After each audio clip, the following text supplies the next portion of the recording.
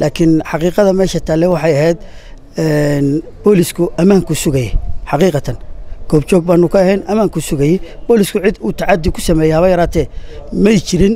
Xildhibaan guuleed maxamed warsame waxaad ka mid ahayd waxaad ka mid ahayd mudanayaashii shalay tole mooshinka u gudbiyey ay ku dalbanayaan in xeerka urusta furistu uu dhaqangel yahay shirgudoonka golahaasi saaka mudanayaashiinaasi dalbanaya inuu dhaqangel yahay maydun gelin golaha oo fadhigii maydu xaadirin.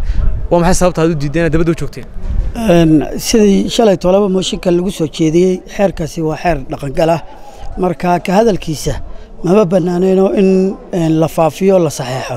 Keliya ayuunbaa dhinneed. Xildhibaano tiradoodu gaaraya.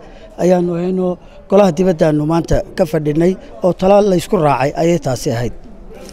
Waayo xildhibaan guuleed markaad tihiin xildhibaan waa xildhibaan aad u tiro badan.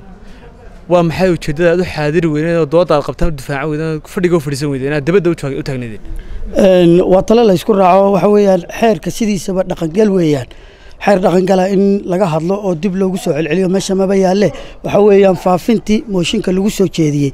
Marka la sameeyo ayuunbaa dee golaha laga soo xaadiraya waa in la faafiyaa oo sharciga sida uu dhigayo la raaco. Waa intaa un dabadda sinu joogaysa mise kalfadhiga waad xaadiraysaan oo dooddiina difaacanaysa kalfadhigu iminka mooshinkaasaa yaalla mooshinka marka la dhaqan geliyo oo sida uu sharcigu dhigayo uu dhaqan galo oo la faafiyo ayuunba dee waxaa xiga iman doonaan. Saasaan malaynayaa oo dee taladu ay tahay.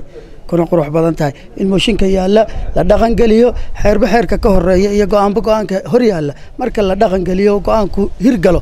Inta labada labaad loo gudbo ayaa wanaagsan waan laga meermeeraysanin. Ummaddu waxay u heelan tahay